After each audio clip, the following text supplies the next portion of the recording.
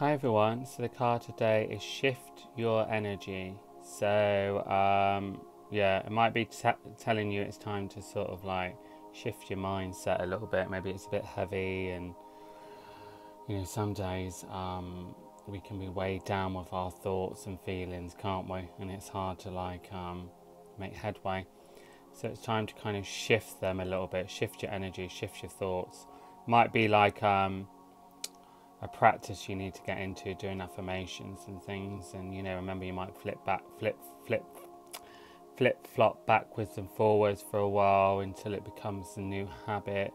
So um, yeah so don't be hard on yourself if you suddenly sort of like one minute you're feeling right i can take on the world and the next feeling like yeah, i really can't you know? Just kind of try and in those moments shift your energy shift your focus stay off like um, what needs to be, you know, stay off looking too far in the future. Just be in the present, do what needs to be done. You know, listen to something or get some fresh air. And then before you know it, the energy will change as well. With shift your energy, don't make any big rash decisions quickly. I always say sleep on it. You know, don't make any rash decisions. So even if someone's saying come here and you're like, oh, I'm unsure, I don't know don't say yes, so I'll get back to you, because um, you'll find with this card that um, sometimes when you make decisions very quickly, you could easily regret that you did that. But basically, it's time to shift your thoughts, shift your energy, change the the negative to the positive. Remember, what we think is what we get. So really try to get into that mindset as well.